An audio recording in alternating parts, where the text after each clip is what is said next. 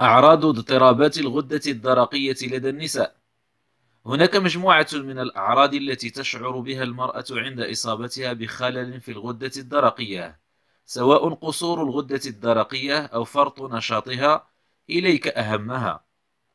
تتحكم الغدة الدرقية في مختلف وظائف الجسم وبالتالي فإن أي خلل يصيبها يمكن أن يؤثر على كافة أجزاء الجسم. وتعد اضطرابات الغدة الدرقية من أبرز المشكلات الصحية شيوعا بين النساء.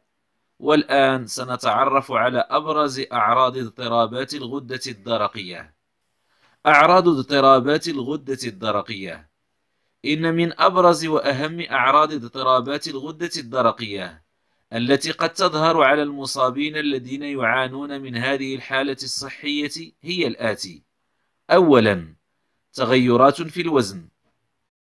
إن الغدة الدرقية الخاملة تبطئ جميع وظائف الجسم بما في ذلك التمثيل الغذائي وبالتالي تلاحظ المرأة المصابة اكتساب الوزن بسهولة ودون سبب واضح عند الإصابة بخمول الغدة الدرقية.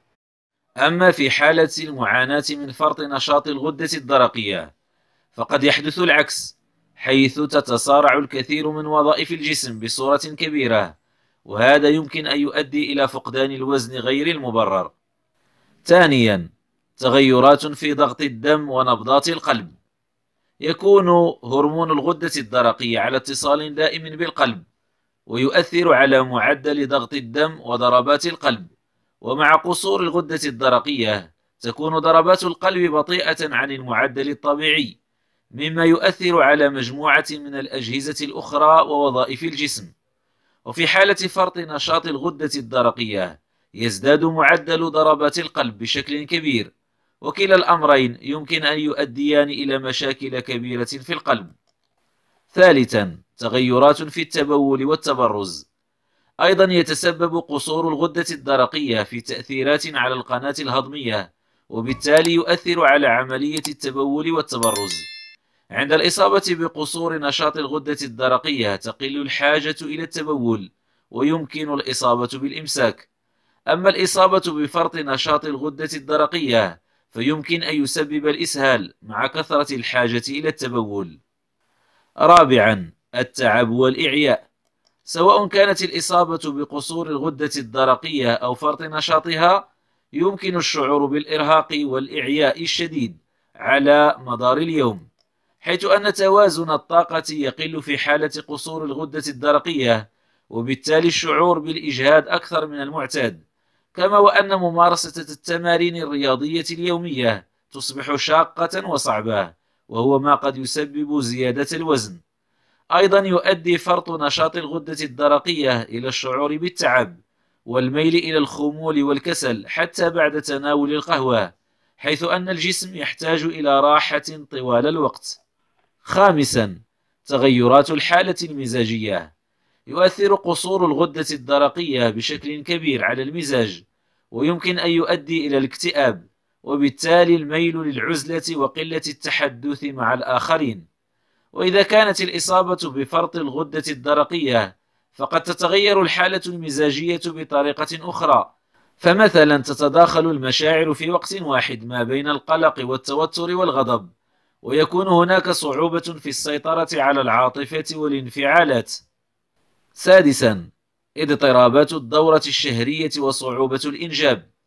يؤدي قصور الغدة الدرقية إلى غزارة الدورة الشهرية ويتسبب فرط نشاطها في عدم انتظام الدورة الشهرية. ويمكن أن تكون خفيفة عن المعتاد أو قد تختفي لبضعة أشهر دون سبب. ومع عدم انتظام الدورة الشهرية والتبويض تقل فرص حدوث الحمل لدى المرأة. سابعا تأثيرات على الشعر والبشرة. ينتج عن قصور الغدة الدرقية جفاف الشعر والجلد بصورة ملحوظة حتى مع الحرص على ترطيبهما. ويصاحب هذا تساقط الشعر بمختلف أنحاء الجسم. كما أن فرط نشاط الغدة الدرقية يؤدي إلى ضعف الشعر وقلة نضارة البشرة وشحوبها. ثامنا آلام وضعف في العضلات. في كل من قصور الغدة الدرقية وفرط نشاطها تشعر المرأة بآلام وضعف في العضلات وتصلب المفاصل. ويزيد هذا من الشعور بالتعب ويقلل القدرة على ممارسة الأنشطة اليومية بصورة طبيعية. تاسعا تشوش العقل.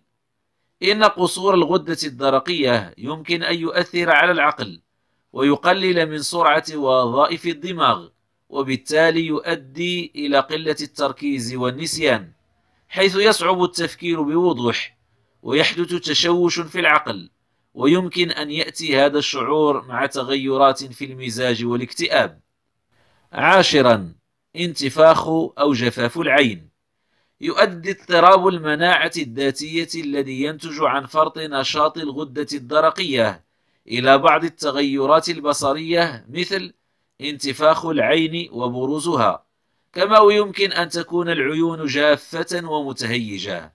كما أن جفاف العين دون سبب واضح قد يعد من أعراض اضطرابات الغدة الدرقية. الحادي عشر الشعور بالبرودة أو السخونة.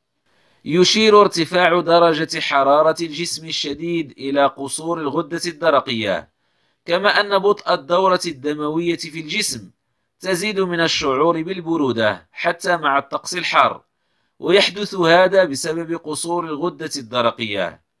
وينطبق عكس ذلك على فرط نشاط الغدة الدرقية والذي يسبب الحساسية الشديدة في الجسم لأي حرارة. فعلى سبيل المثال إذا كان الطقس حارا تشعر المرأة بارتفاع شديد في درجة الحرارة أكثر من المحيطين بها وتتعرق بشكل مفرط عن الآخرين.